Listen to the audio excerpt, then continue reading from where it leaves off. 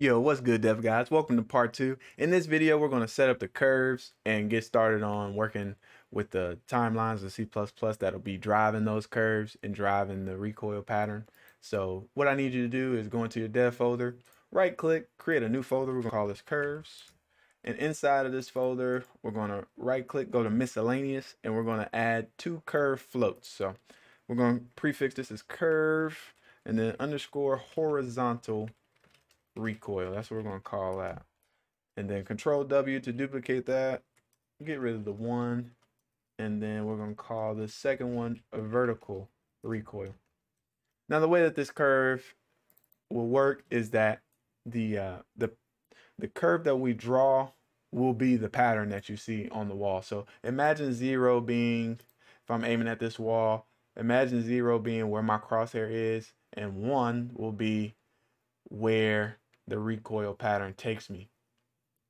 Uh, but that's for up and down. For left and right, zero would be here centered, and as the pattern gets drawn, so will your left and right uh, movement.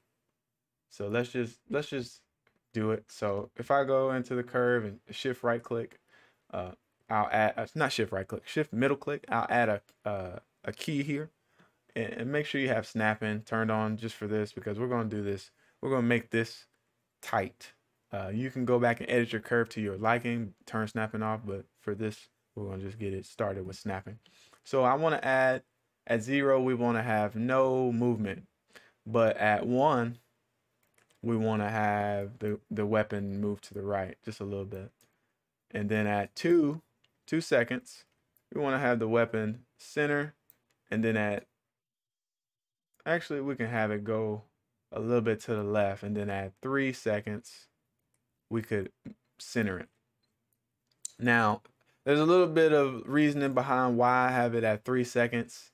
And uh, also you need to remember that both of these curves need to be the same length. So both of them need to have keys that start at zero and keys that start at uh, three. Let me open this up just to have it.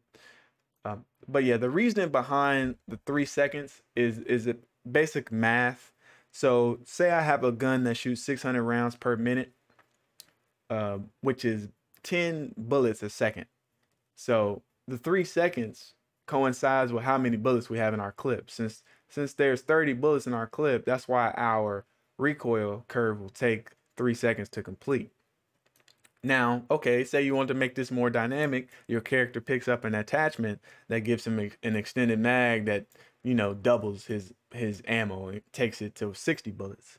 Well, what you could do is you could uh, click on this curve and right click it and go to post extrap and you can cycle it with an offset. So that will basically just keep the curve going endlessly. So this means no matter how many bullets your mag has, uh, you will continue to receive recoil. Uh, you can make it more uh, random by choosing different uh, offsets. So if I want to make it more random, I'll just do ping pong and it makes it to where it's not the same curve as we started with over and over. It just add, it's a repeat of a different curve here. And you see it goes on forever. So yeah, so if I had 60 bullets, that'll take me six seconds to to to get rid of those since it's double 30 bullets. But yeah, that's pretty much how the, curves will function. So if I highlight these, press F, and then I want to go ahead and make it a smooth curve so that it, it curves smoothly. We can go ahead and fix this right here so everything just moves smoothly here. Um, but yeah, so this will be what that left to right recoil will look like on the wall. And if we go to our vertical recoil, we can kind of do the same setup. So at zero, we don't want any movement. At one, uh, since our pitch is inverted, we want a negative value to send the to send the gun up and a positive value to send the gun down. So we want to send it up to say point zero. Let's do right here, point one. Send it up to point one. And then at two, we want to, let's go ahead and settle a little bit at zero. And at three, we can bring it a little bit lower. Actually, we'll change that. We'll change this to bring it a little bit lower, keep that same S curve. And then at three, we'll, we'll center it out. And we can do the same thing. Highlight these, press F, and then press auto. Give it an auto key, and then click on the click on the curve, and then right click. Go to post extrap, cycle with offset, and that'll just keep it rotating. Go ahead, adjust the curve, make it a little bit better. Okay, and this will be our up and down movement with the uh, recoil system. So we can save that. And we're pretty much done with the editor right now. So I'm going to close it out. You guys can minimize or close it out if you like. I like to run Unreal Engine from the editor just to keep up with errors. So um, for our recoil to work, we need a few things.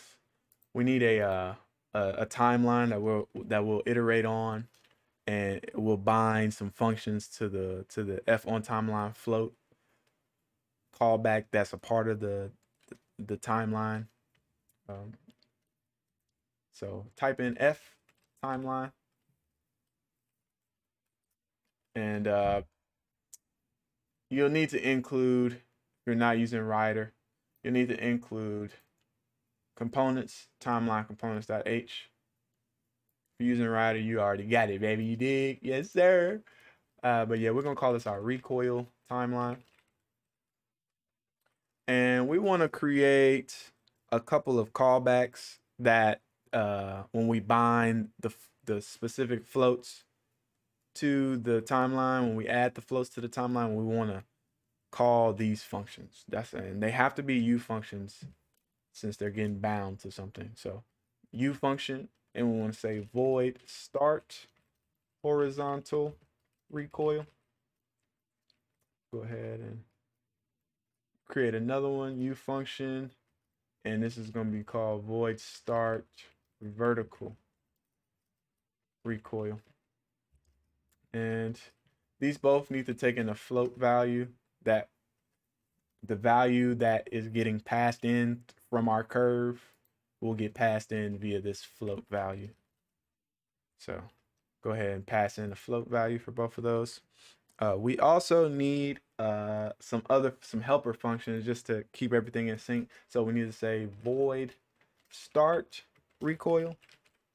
And this is what we'll call when we start firing our gun. We'll call void start recoil, and then we'll call void end recoil or reverse recoil.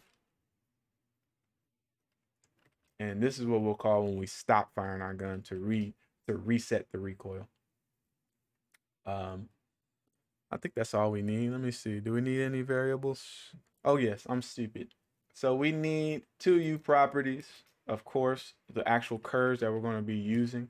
These need to be edit default only, blueprint read only. And let's put them in a category of advanced recoil.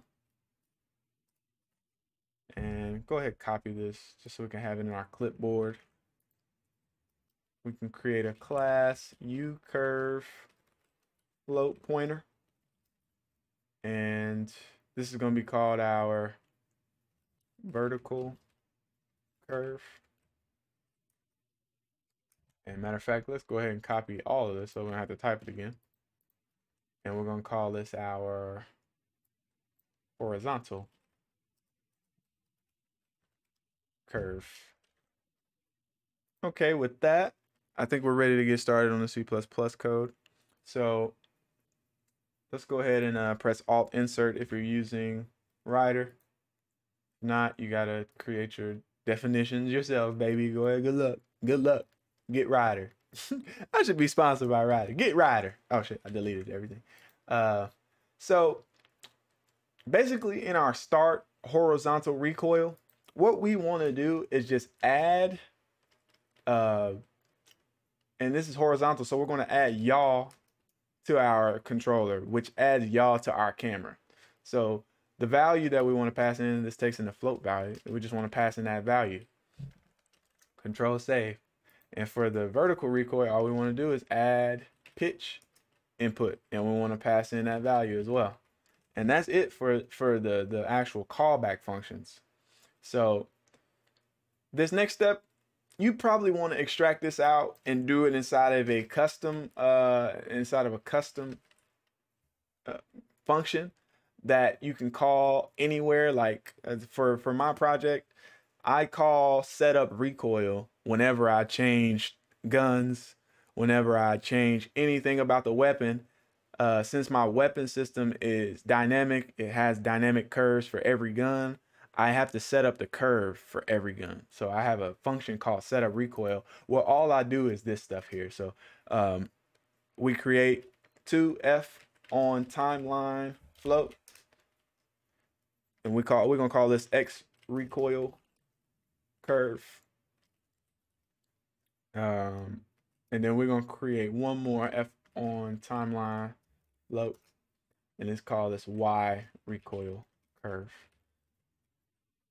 So these are the uh, these are the uh, callbacks that we need for the uh, timeline, and uh, you'll see you'll see here.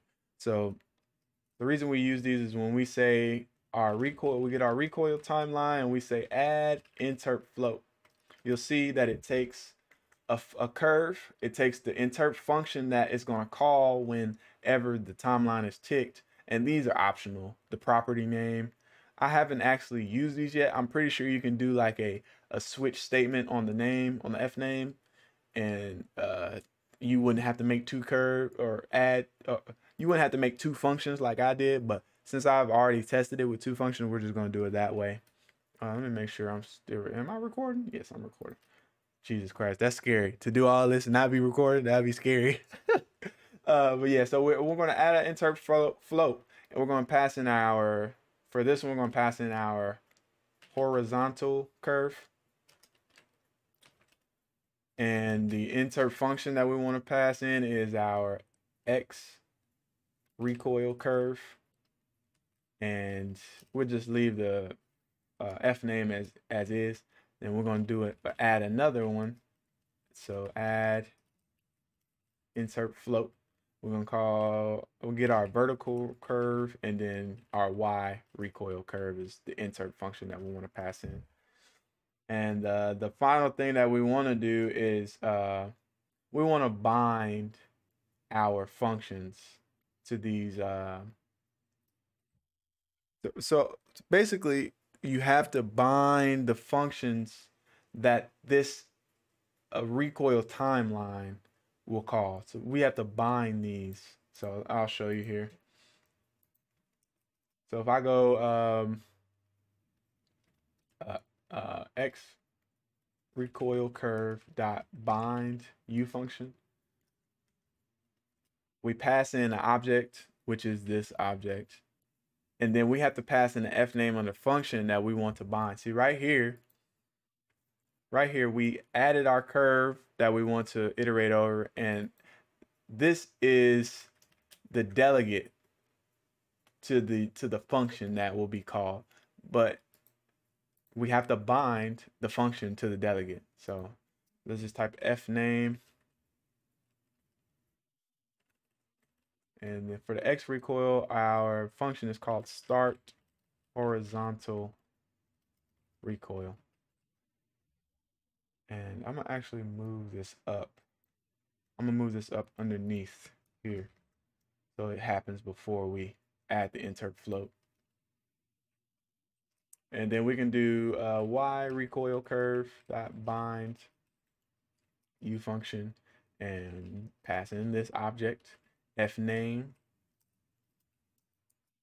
and we want to say our start vertical recoil and just to just to you know these actually have to be the same name so control F make sure that this is the same name highlight this one control F make sure that this is the same name um, so we got that. Our our timeline is bound.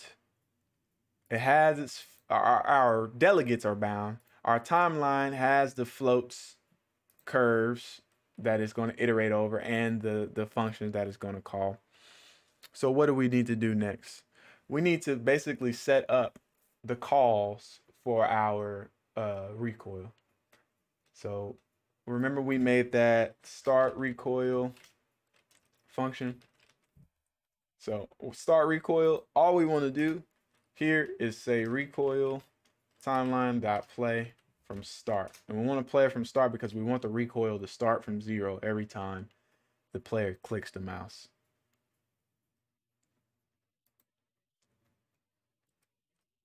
For the reverse recoil, all we're going to do right here, re recoil timeline dot reverse. And we don't reverse from in, we want it to reverse from where it is. Okay. So how this works is that when we fire our weapon, we want to start the recoil.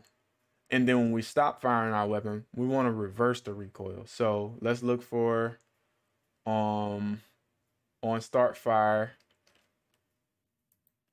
That's why we created these these uh, like uh, intermediate functions because we want to do separate things inside of them. So we're going to call on start fire and then we're going to start the recoil here.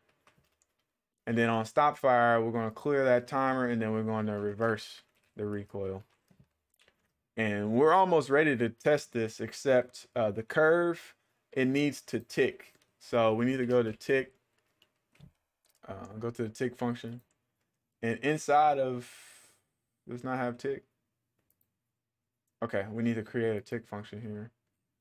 So let's go back to where our other overrides are and go virtual void tick override. Let's implement that. Generate implementation by pressing Alt Enter if you're using Rider. Let's call the super. And we also want to go to the constructor and make sure primary actor, make sure that primary actor tick dot b can ever tick is equal to true. Just make sure that's set to true. And then we go back to the tick function. And here, you could just tick the timeline. You could just do this tick timeline and uh, pass in delta seconds for the rate. But for us, we want to save a little bit of um, performance and make this event driven. So we want to say if the the the recoil timeline that is playing, we want we want to tick the timeline. Now, your advanced user are probably like, why do not why don't I say or is uh reversing? Because when it reverses, uh sorry, or dot is reversing. Because when it's reversing, we also want to tick the timeline as well to to smoothly uh reverse the recoil. Well, you'll see um, later on when I solve this issue, we actually need to have these two separated because we need to run some different code if if the timeline is reversing. So, whoops, if the timeline that is reversing, we want to also tick the timeline. Pass in delta seconds. And when I get to this code, it'll all make sense. But right now, uh, I think we're ready to test. Let me check my notes. Yep, we add the floats. Yeah, yeah. Okay, yeah, yeah. So we're ready to test. Let's give it a build. See if we run into any errors here. Oh, I forgot to put a uh, a valid check. So let me go to my begin play. Where is it? Should be right here. Okay, right here. We can add a valid check right here. So I got a live template, but if if you basically what you want to do is if we don't have a um, if we don't have a horizontal curve or if we don't have a vertical curve because we don't want to run uh, we don't want to add just one track to the timeline we want to make sure we have both curves so if we don't have either of these curves, we want to return and don't we don't want to add this right here. This will just save us from crashing. So uh, I know that it's going to build properly. I, all I added was a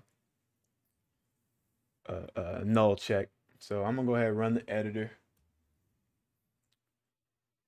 And when we get in here, the first thing we need to do is go to our character blueprint class, which is in this folder right here, blueprints. And we want to add those curves. So our advanced recoil tab, we want to add our horizontal, our vertical curve for vertical and our horizontal curve for horizontal. And we should, if we go here, hopefully everything works fine. So if I go to this wall and just hold down my mouse button, you'll see the recoil is, you see that recoil pattern? That's what we drew. But you can see the issue here. If I, um, okay, so if I hold this and get our recoil pattern, you can see it's still playing the recoil too. Uh, let me, uh, uh, uh, that that's the issue. Let me reload real quick so I can show you show you this issue. So if I uh, play the recoil here, I try to move my mouse, uh, and it lets me move. But let me reload again. And if I let this play here, you see that it, it reverses the curve, even though we're kind of centered. We don't we don't we don't want the curve to reverse even if we're centered. So that's one of the fixes that we'll have to fix. And you can also see if I don't have any bullets in my gun, um, this recoil still starts. So I'm going to go to the, to the uh, on start function, on start fire. Let's go here and actually we can go to the fire function. So if we if our current ammo is greater than zero, we want to do this, but uh, we can run an else check on where is it on this one. We run an else here. Else we want to uh, reverse recoil, or no, we want to call on stop on stop fire right here. If I can type right. So if we run out of bullets while we're firing, because since this is ran on a timer, this will get checked every bullet. Boop, boop, boop. Soon as we run out of bullets, it'll call this. So let's go ahead and comp uh no, I didn't stop an editor. Let's go ahead and compile that. That'll fix one of the problems.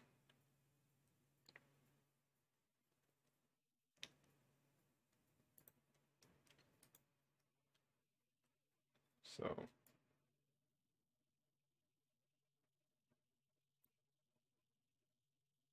Okay, it didn't fix it. Okay. Let's go to stop fire. So, yeah, I don't know why that didn't fix it. Let me see. So let's uh, introduce you guys to something that you probably didn't know about you can use print strings inside of Unreal without doing the GE, the the G engine log. You can go U Kismet system library, and then we can say print string, and it takes in the world. So we're going to pass in the world, and it takes in a string. We're just going to pass in text that says, uh, "We no longer have ammo," and we can leave everything else at default. Uh, let's go ahead and build that.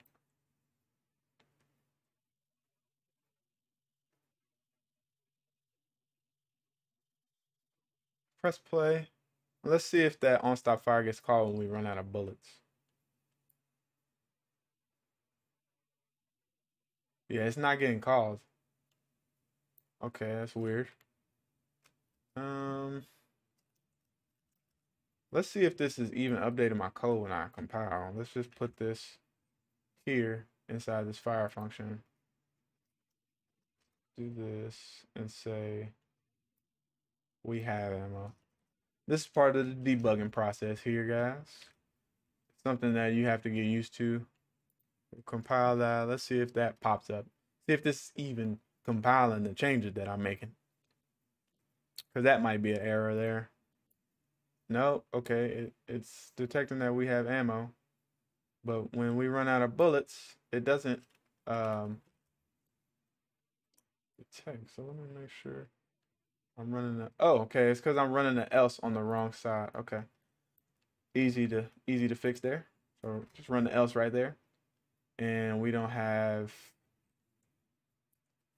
context of the world. So let's just put it outside of the scope there. And now this should work. So I can get rid of this print string right here. We don't need to know that. And let's compile. And as soon as we run out of bullets, it should reverse the um, the recoil pattern. All right, so let's go to the wall. Holding down my mouse button, run out of bullets, reverses it. And you see, that's the issue right there. We don't want that uh, like that. So in the next video, we're going to fix that. I'm also going to fix a couple of other things. So I'll see you guys in the next one. Peace.